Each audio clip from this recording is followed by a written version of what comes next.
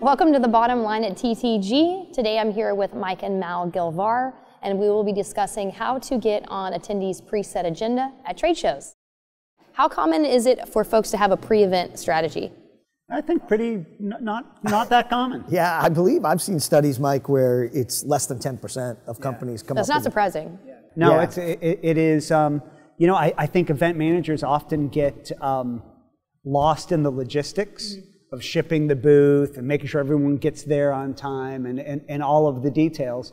And at the end of the day, I think a lot of times the uh, um, having a strategy uh, an integrated strategy just kind of goes by the wayside. And I think the hope always is that if you go with a great looking exhibit, if your staff is trained, that you're going to get the people to show up. The reality is a little bit different. I mean, yeah, if I you don't have a pre event strategy, you probably are not going to have as many folks come to your exhibit as you'd like to.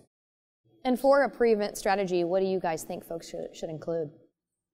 Well, you, you know, I, I, I think that it really starts with understanding and, and really defining um, who is your buyer and what is the value of that person coming by the booth, right? It's a very different strategy if you sell a $75 product or a $1,000 product, or if you have a product that is, you know, $25 million if this person converts.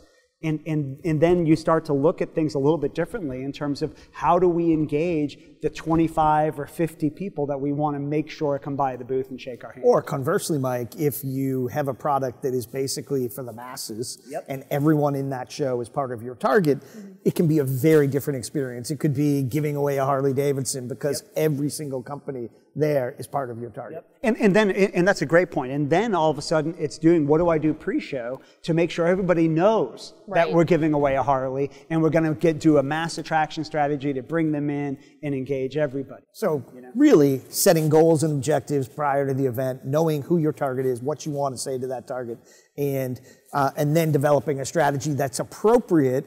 For example, Mike, you pointed out if a company has a million dollar product and you only need to bring in 10 of those companies, you're not going to give away a pen. yeah, exactly. Your, exactly. your you're giveaway gonna, might be a, uh, a, a, MacBook Pro, yep. and it's well worth it to have those 10 conversations with those clients. And Mike, how does account-based marketing feed into a pre-event strategy? You know, a lot of times people think that the trade show is one and done. They come by, they shake your hand, you get their lead, and, and then it goes to sales. And, and that is the top and the bottom of the funnel, right?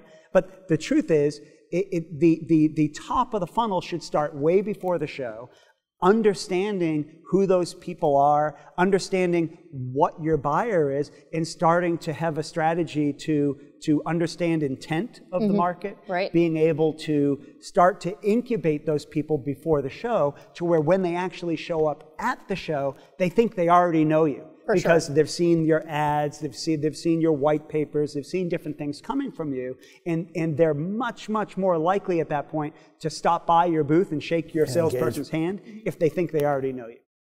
So Mal, what's the bottom line? Bottom line is, I think, Mike, based on what you were just saying, and I agree with everything, how many times have we seen a strategic marketing campaign derailed because of a lousy list?